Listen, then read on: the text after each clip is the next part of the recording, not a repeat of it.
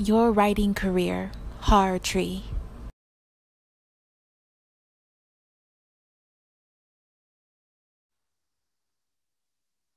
Okay. All righty. So welcome to Horror Tree. And how do I pronounce your last name, please? Uh, you know what? Chuck Palahniuk is the same way. He's always afraid people uh, that he's going to mispronounce my name when he mentions it. But Yeah. It's Venturini, V E N T U R I N I. I always say it's spelled the way that it sounds. Venturini. Okay. Yeah. I think, yeah, it does look like it's spelled like how it sounds. Venturini. Well, welcome Yep. to Horror Tree, Mr. Ventur- uh, Fred Venturini. And Yeah. we are here discussing today your novel to horror novel, To Dust You Shall Return. So we are very right. happy to have you on. And I'm Ivana Sanders, also known as the novelette. That's my stage name. That's good. Yeah. Everybody needs a stage name. So, Thank you. Thank you. All righty. So we're going to get started on the interview. I'll go ahead and ask the first question. Yeah. So when did you begin writing fiction? as long as I can remember, uh, you know, my nine year old is around. She writes stories every now and again. And I think that's about when I started. Uh, think about, you know, I had a Nintendo and one of the old ones where the games did not have like stories and stuff. And I think it was Dragon Warrior, like a 1989 uh, game. I wasn't satisfied with how the game ended. So I remember writing out the story uh, of the game because there were so many gaps in it. I mean, now games take 400 hours and there's no stone left unturned. But that's like the first thing that I remember writing. So, and I've been kind of at it ever since. So let's see, roughly 32 ish years of uh, writing fiction. enough to become to uh, uh, become a uh, uh, hone in your craft. Yeah, that's that's a thing for sure. Always refining it. I know exactly what you mean. I started, I, I'm a writer too. I'm an author and I'm also an anthology editor. And so I, uh, I, I uh, publish anthologies. I did one um, that was a killer thriller anthology. And then I just recently did one called Aesthetic, a dark academia anthology. And has Mm. 25 authors all about young adult and new adult um, stories set in academic settings. Mine, as always, I wrote dark fiction because that's what I do. and I've been I've been That's good. writing. Thank you. I've been writing ever since I was very little. When I used to play with my little toys uh, with my older sister, there was like so there was like drama storylines, like weekly events that happened in these stories. And I feel like that was my creative nature coming out. Even then, Yeah, well, I yeah. love it. especially back then uh, i needed a creative outlet uh, there wasn't as many entertainment options in the 80s and 90s as there are quite now so Yes, I understand. So, did you have to do any research to write this book?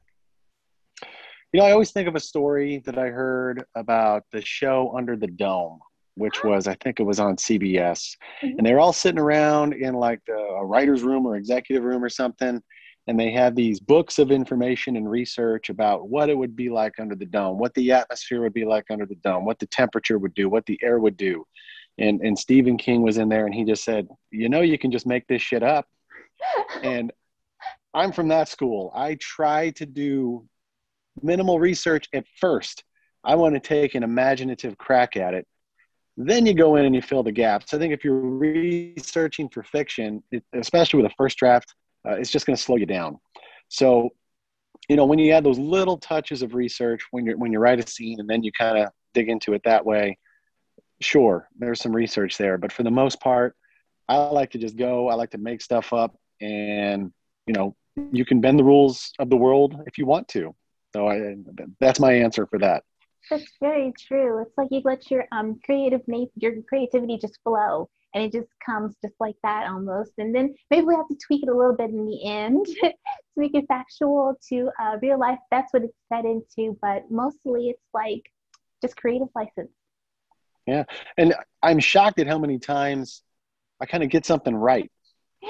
like Yeah. you wonder you try and make up a product that doesn't exist and then you find out it exists or you make up a disease that doesn't exist and then you find out it exists. Yeah. So, you know, the truth is stranger than fiction. That's true. So your book reminds me of almost of the Texas Chainsaw Massacres franchise. Well, that's um, high praise. All right. but the thing is, I think that, but, but I think that your book adds more complex three dimensional characters, which I loved so much. Because every time I see a movie in the Texas Chainsaw Massacre series, I always think that I always feel like something's missing. Like there's there's a lack of depth almost. But your book completed what the franchise, where the franchise has weak places at to me. It like filled in those spaces. And um, there's a really compelling theme of survival, like by any means necessary. Any means necessary. yeah. Well. Are there any other themes that you would hope that readers pick up on while reading To Dust You Shall Return? Well, just to circle back for a second about the Texas Chainsaw Massacre, you know, the, the first entry in almost any horror franchise is you fear for the victims and you're kind of afraid of the monster, but eventually you start to root for the monster and that becomes the series. Yeah. So all all the characters just become disposable. You know the formula. Oh, she's annoying, but she's going to get killed. You know who's going to be the final girl. All of that stuff. So uh, I think that yeah, I think that's an interesting element. I want to keep the monsters as the monsters, and the only way you can get invested in a horror story is is if you give a crap about what happens to somebody. Yeah. You know that's that's what stakes is. So themes, you know, something I don't think many authors really like do their themes on purpose. I think if you try to go into a piece of work uh, and say I'm going to give it an undercurrent of social commentary, or I'm going to try and make the the, the theme of the novel this, I, I, don't think it works. I think the seams and the gears kind of show. Mm-hmm. So it's kind of amazing when other people tell me what they pick up on, you know, in my work as a whole. Uh, you know, as an example, the treatment of small towns. You know, I came from a real small town, and it's not like I ever, you know, Jones to get out of there. It wasn't like, oh my God, I got to leave this place. But it was just, I couldn't come up with a bunch of compelling reasons to just stay generation after generation. Mm-hmm. Right. Yeah. Uh, and I also think it's really weird that in Hollywood, there's this trope of small towns are good and big cities are bad. You know, Sweet Home Alabama comes to mind. That that's the trope. Oh, these quirky people in this small town. But in a horror story, if you run into a small town, something bad happens. You're in yeah, you're in you're in trouble. So you know, small towns show up in you know all of my work. Uh, in this one, it really is front and center. Uh, specifically because when I was younger, someone who you know lived in what was I, 15 years old, I remember saying, you know, I'm going to go away to college, and someone's like, "Why would you ever want to leave here?" And I'm like, "Whoa!" And that really always stuck with me. I was yeah. like, and that's obviously made its way into the book a little bit. Uh, and the other one is, I think, in this book, it's like a religious overtone, I guess. Once again, I didn't try to put it in there, but someone had mentioned, a fellow author had mentioned, wow, you know, there's like communion in the book. Like it's a really dark mirror image uh, of organized religion in a small town. You know, like you're in a small town, everybody goes to church on Sunday, everybody takes their communion on Sunday. You know, if you're not there, why isn't so and so there? yeah. And I think that this town has a a dark mirror image of that. You know, there's no churches in the town because the church is uh, the occult presence that's there already. So yeah. Cool cool. That is all very interesting. And I could see some of those things standing out in the story. I'm just thinking back to the things I read in the story. I'm like, that does fit, doesn't it? Yeah. Really cool. So, which character in To Dust You Shall Return was the hardest to write and why? I guess it was Beth because it started off as a completely uh, different character. And, you know, I rewrote that book nine times. Uh, I think the first time I ever put a page down on it was 2014. Wow. And it, you know, it used to be an annoying teenage boy was in the middle of the story.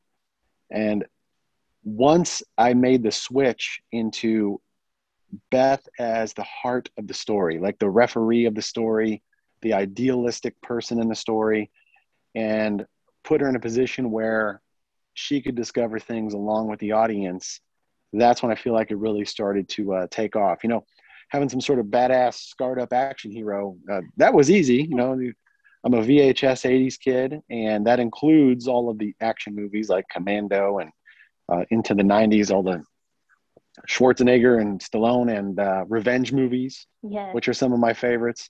So that was the toughest one to get right because it was kind of the heart of the story, and you couldn't really crack the rest of it open unless you had her in there and you had her right. Like there couldn't be any forced romance in there. Uh, I like that you know Trent, her friend slash boyfriend in the story, is there's not any deeper forced romance in there. Uh, as a matter of fact, the, the, fact that they resist it because of the circumstances of the town, uh, uh you know, I thought added a, a, surprising element to it. And when I say surprising, it surprises me too. I, th- I think all authors will say, "Wow, I'm kind of surprised how that character kind of reacted in that situation." And, once you once you have that going, yeah, then you're in a good spot. Yeah, because the characters write themselves. They really do. It's like we're just kind of the vessel for them, almost yeah once you get them going you know, they tend to take over so yeah that's where you want to get that's true so what inspired the character of curtis quinn and is he symbolic to any deeper meaning without giving away any spoilers yeah so one of my favorite character archetypes is the reactivated badass character you see it a lot in revenge movies uh, typically this person used to be a badass, but he's not that way anymore. And then some circumstance makes it to where it has to awaken. And a lot of times that badass part of themselves is rusty. So I think the number one example of this is a 1992 Western, uh, Unforgiven, where William Munny is a former criminal gunslinger. And throughout the movie, you know, everybody says, oh, it's that William Munny. He's a killer of women and children. He did some dark things. Mm-hmm. He's he's a badass. And with about ten minutes left in the movie, he comes back, wow. right? And it makes for this this badass finish. In sci-fi, it's old Luke Skywalker from the Last Jedi, which you know a lot of people disagree with the way that it was done, but that's such a powerful story trope. Is we got to get old man Luke to dust off the lightsaber and come back and help us. And when he does, you get that moment. Yeah. So I think he's mostly inspired by, you know, the, the early '90s kind of action heroes and revenge characters. The, the thing that I have a problem with now with like the John Wick type mm-hmm. movies is the reactivation happens too early. I right, you know, so John Wick is like it's great to have the Russians scared of him. You know, he's the Baba Yaga, he's the boogeyman, and all this yeah. stuff. But 25 minutes into the movie, he's digging up his guns and he has no issues whatsoever killing everybody. Yeah. It's like watching a video game. So, what I loved about Unforgiven, what I tried to do here is there is a lot of stakes in play to reactivate when William Munny in Unforgiven picks up the bottle again and is going to go back and be violent again. It's one of the weird times in a story where the hero loses by refusing to actually change. He was terrible, he had changed, and then the circumstances of the movie make him revert back into the evil he used to be. Uh, so I think that was just another cool part of it, and that's I think why some people call it an anti-western. Yeah, I've heard it called that sometimes. But yes, delaying that reactivation to where if this switch is flipped, I lose a part of myself, uh, and the stakes are, are, are pretty high. So that's a little bit about the inspiration of the character. I like that so much. Uh, the the whole it, it, adds more depth of character, having almost like that slow burn um, um, turn back into who they used to be, and that is one of my pe- my pet peeves about the John Wick franchise because I felt like first I thought I felt like the uh the the fact that they killed his dog and everything stole his car. I thought that because it was random, it had less depth it was random. They didn't know who he was. He should have been targeted. Like that would have been more impactful to me. And then it would have been great if they had a delayed his transformation back into who he was again. Like it just it felt anticlimactic somehow. And I this I just recently saw the John Wick series the first time ever, and um, I watched them all in a marathon in a row. And I just felt like once it got to the third um, movie in the franchise, I was like, it could have just a little bit more, you know, to the story. It's almost he didn't he didn't struggle. He didn't struggle. He no, he he still he digs up the guns. Right. He digs up the guns. He's still as good as he used to be. Yeah. And literally just goes through the game goes through the movie like a video game. Uh, but the appeal of it is it's a dance movie. You you're, you have this they let you see the action instead of all that crazy choppy cam stuff that you might see in like a Greengrass movie. Like you get a big wide angle of what they're doing. Yeah. and it's almost like watching a dance. It's like watching choreography. Yeah. so i think that's part of the appeal of it. Uh, but with the sequels sequels are giving the people more of what they think you want. Mm-hmm, mm-hmm, mm-hmm. and unfortunately for most people it's like can he kill some people with books can he kill some people with horses Apparently so. how, how many ways can he kill people yeah so i think that's part of it Yeah, yeah. It could have had more depth if there was at least a little bit of a delay, some sort of or some sort of inner toiling that he goes through. yeah So that's pretty cool that you put it in, in your characters because that's a great that's a great added quality to the storytelling. I'm sure the readers will appre- appreciate that. I know I do. yeah So, what advice would you give about pitching a horror story? Pitching a horror story. Like um a lot of authors now like the budding authors out there they're like doing you know they're they're they want advice on like their query letters. How do you get a horror story to stand out? What tropes would you suggest highlighting or not? But what kind of advice would you be, maybe be able to give them? Well, first, believe in it and want to write it. Like, I think that that's one thing. Sometimes you're like giving people what you think that they want, you know? Uh, and I know there's a thing in horror now, it's like use the rules and use the tropes as part of the story's setup. Don't do any of that. Just do play to your strengths. And if you can do something new and fresh, uh, with the tropes of the genre absolutely you know pitch that in in that kind of way but uh, you know it's a it's a hard question to answer because i think you pitch the highest possible concept that you can if you're pitching. Like can you describe it in one line? Yeah. and if you can't it's not you're not there yet with the idea you know? Uh, and it's almost like that little hollywood thing. It's this meets this. And the first one is to let you know and they're both there to let you know that it can make money. Yeah. You know so i i had a friend of mine describe uh the, you know the new book as john wick meets the wicker man which is you know it's a pretty cool i was like oh i like that. Can i can i co-opt that and start using it? Uh-huh. Uh, but that's this a real simple way to to distill the story. So i guess if you're pitching and i haven't had a chance to pitch too much i just write what i want to write. Here do you like it? Right? Yeah. Uh, so so yeah uh, be able to summarize in one line make sure it's something you're excited to write and do something new if you can Cool. Very cool. Thank you for that. And um, our next question will be What does the act of writing itself mean to you? Hmm, i've never been specifically asked that question before what does it mean to me i guess it means you're doing something with your free time that like has some sort of tangible result. Like i play video games and i always feel guilty about it. Like oh my god i'm just burning up. I mean i enjoy it but you know you can have an addictive personality and you can play games all you want uh, or you can you know binge out at netflix or you know you, there's a lot of things that you can do where you're not done with it and you go wow this is like something that could be in the library of congress. This is something my grandkids could read. Uh, so there's there's part of that it's it's rewarding i guess is the word uh, and it's fun you know i there's i go long stretches without writing anything sometimes uh, just because it's the the idea and the act you know has to be fun Yeah. and I guess I should caveat that with don't let that be an excuse to not be disciplined. Like I don't believe in writer's block, I but I do believe in having fun with what you're doing.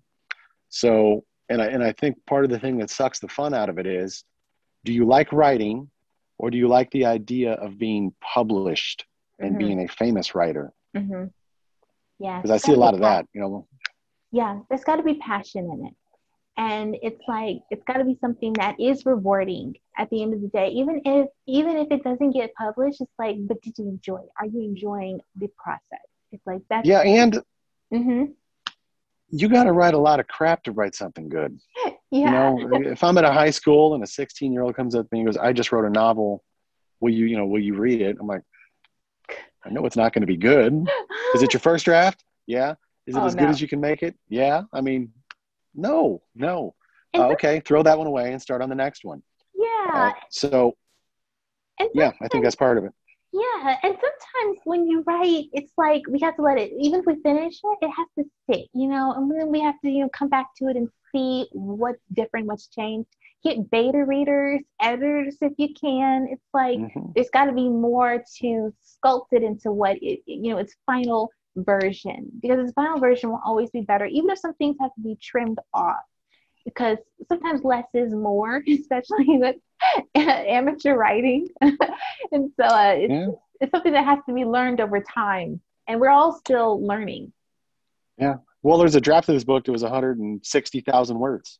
Really? Uh, that, that's a lot of words to remove. I think it settled in around 110, Mhm. maybe. Mhm. I forget, but it was it was a monster, and there was a lot to get rid of. You know, you have to really choose what's going to be the most effective uh, thing.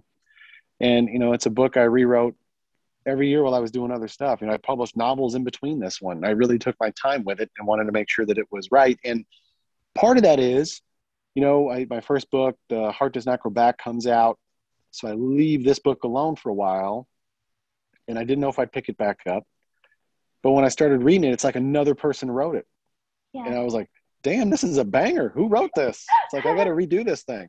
So I, I think that there is, you know, there's something to it. Uh, don't finish something and then like publish it on Amazon within 30 seconds for sure. Uh, take your time. Yeah, very much so. So, personally, what is the best TV or movie adaptation of a book to you? It's Fight Club. I mean, Ah, bar none, that's the first one that comes to mind. Uh, it's the one that's closest to the novel, and I think it actually takes what the novel did to it to another level. And the book is a classic. It's awesome, Uh, and I think Chuck Palahniuk even says that the book he really does sign off on how good the movie was, uh-huh. and I think that's part of it. So that's always the first one that comes to mind for me. It was a it's a, it's a short, intense book, and I think short books make better movies, Yeah. right? Uh, that's what all the book. The, the book is always better, well, because the book is much longer. It, it, you can't fit a book into 90 minutes. You know, a short story makes a better uh, movie than a book does. A book makes a great TV series a lot of Oh, times because there's a lot of material there. So Oh yes, I like short. I I like short series, and um, my favorite my favorite movie adaptation of a book is The Shawshank Redemption, and that was a short story. Yeah. Yeah, that was uh let's see. He had it was different seasons. There were four novellas in there. And you know, novella is just a long story. And Mhm. there was some it was Shawshank Redemption, which was a great movie. I think Stand By Me was in there uh, as the body. The body was in there. Uh forget the other two. One of them I know was made into a movie.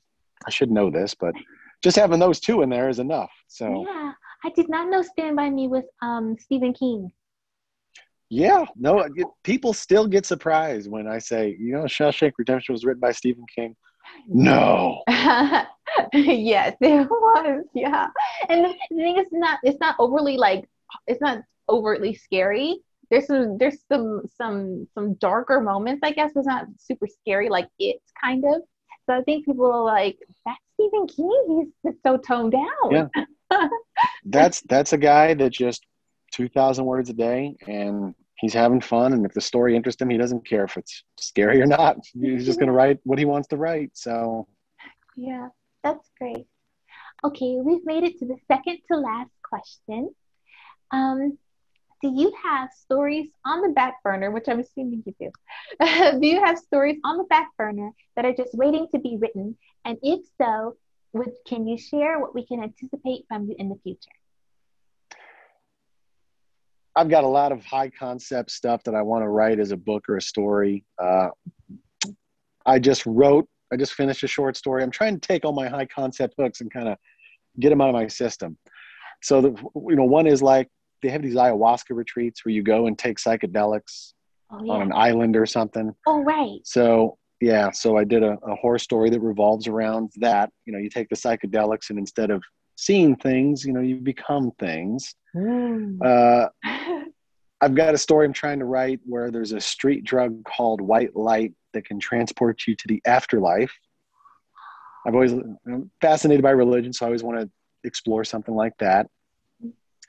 And uh, I've got kind of a slasher novel going. Like, imagine that there was a prestige HBO series called Haddonfield, right? It's about the town Uh-huh. where every few years a supernatural, obviously supernatural and vulnerable slasher shows up and starts murdering people, and people still live there, you know. And uh, you know, I watch the sequels to all these movies, and it's like, well, that Jason Voorhees story that that didn't happen. That was a long time ago. No, it was. It was two years ago. yeah. You should be able to look it up. What are you What are you doing at, at Crystal Lake?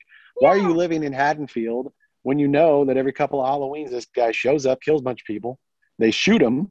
You think he's dead and he keeps coming back. Why are you still living there? Yeah. So You think if he's deserted? yeah, so so I think that that's a a story that resonated with me right now because a lot of horror stories are about being against the monster or fighting the monster, and when COVID was really about living with the monster. And I Ah, think that's what that's about. Where uh, you know a slasher showing up and killing somebody is just like the weather. You know, yeah. oh, he showed up the other day, killed six people last week, but you know, and, uh, worst one yet. You know, just acting like it's bad weather. Yeah. So that's that's the concept that I'm exploring is uh, a town that has been decimated by a slasher that is totally prepared for his return, but there's the type of people there that are just waiting for him to show up to cover their own bad deeds. So oh, they're gonna that's, use that's him to like part of what I'm working on.